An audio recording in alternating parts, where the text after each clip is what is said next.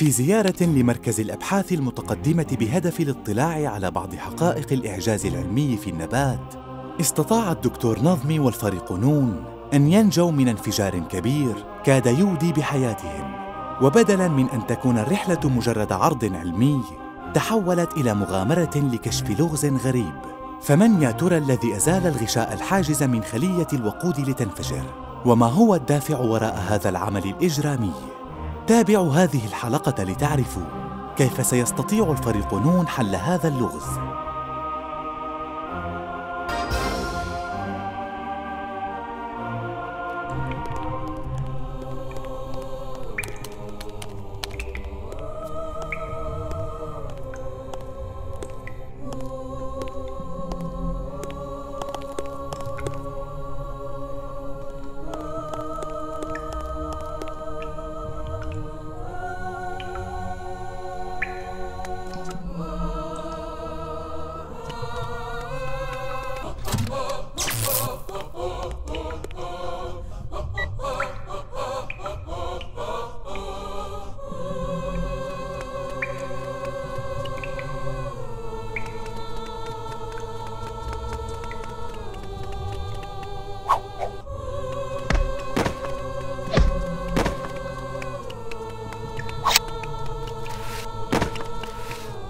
من أنت أيها المجرم؟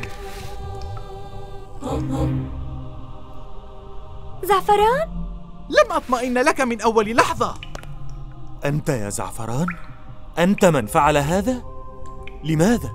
لماذا تريد أن تفجر التجربة؟ لم أكن أعلم أنها ستنفجر فهو لم يخبرني بذلك من؟ من هو؟ إنه من هو؟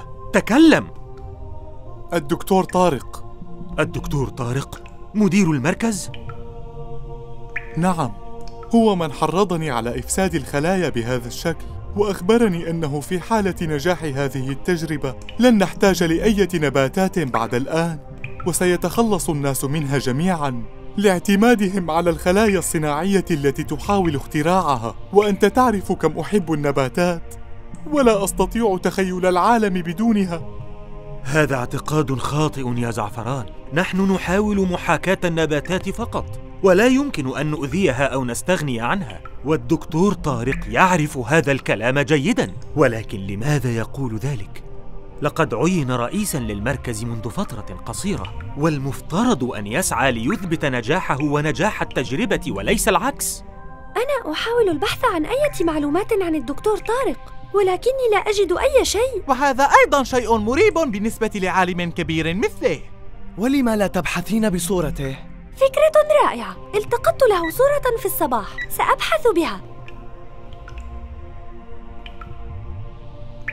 وجدت شيئا. الدكتور شوكت شعلان مدير أبحاث مفاعلات الطاقة النووية. ما هذا؟ إن اسمه الحقيقي شوكت شعلان. يبدو أنه عميل لمفاعلات الطاقة النووية.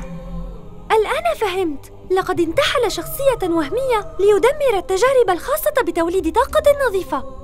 استغل حبك للنباتات واستخدمك لإفشال التجربة. المخادع. لقد نفذوا تهديدهم. هيا بنا فليس أمامنا الكثير من الوقت. أقترح أن تلغي المؤتمر يا دكتور. لا لا أستطيع إلغاءه. فمستقبل الطاقة النظيفة مرهون بهذه اللحظة. هناك الملايين من البشر يحتاجون إليها.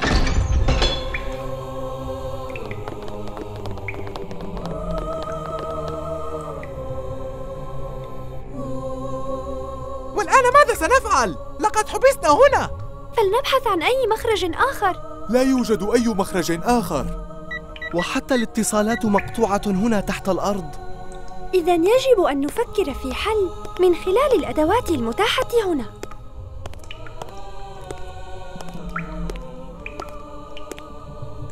هذه هي. سنقوم بنزع الغشاء الفاصل بين الأكسجين والهيدروجين من خلية الوقود هذه، ثم نشغلها بالقرب من الباب، فعند انفجارها سيتحطم الباب ونخرج. ومن أين سنأتي بضوء الشمس ليتحلل الماء أيتها العبقرية؟ الليزر. الليزر يعمل كضوء الشمس تماما على تحليل ذرات الماء. إذا سلطنا ما معكم من ليزر على الخلية ستنفجر وينفتح الباب. وماذا عن الماء؟ من أين سنأتي به؟ يوجد مصدر للماء في زاوية المخزن. هيا بنا. ولكنها مخاطرة كبيرة. حياتكما أنت وأختك معرضة للخطر. لا تقلق سنكون على حذر.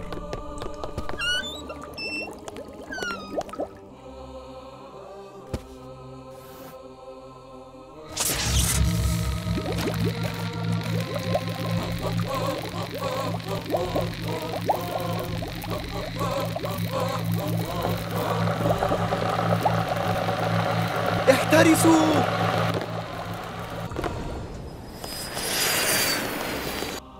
نجحنا. نجحنا. بسرعة. يجب أن نمنع وقوع الكارثة ونمنع الدكتور طارق. أقصد الدكتور شوكت من الهرب. لدينا ثلاث دقائق فقط. جاسر زهرة ابحثا عن الدكتور شوكت وأنت يا روبو تعال معي.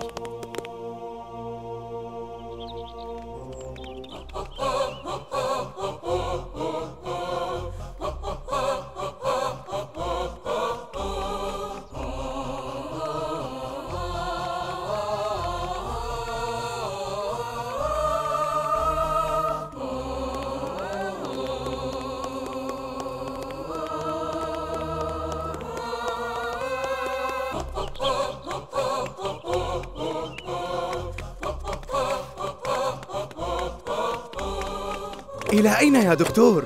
المؤتمر لم يبدأ بعد. أيها الأبلهان يجب أن نبتعد بسرعة. سينفجر المكان كله خلال عشر ثوان. لن ينفجر أي شيء. لقد أصلحنا جميع الخلايا أنا وروبو. لقد نجحت التجربة.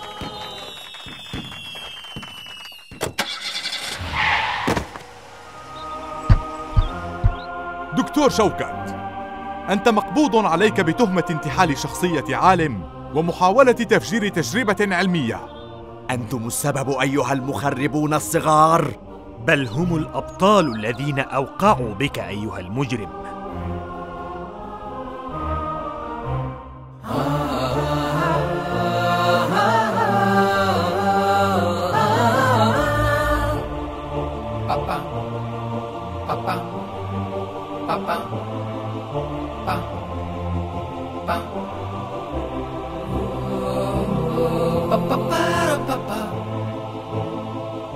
Ba-da-ba-ba-bum.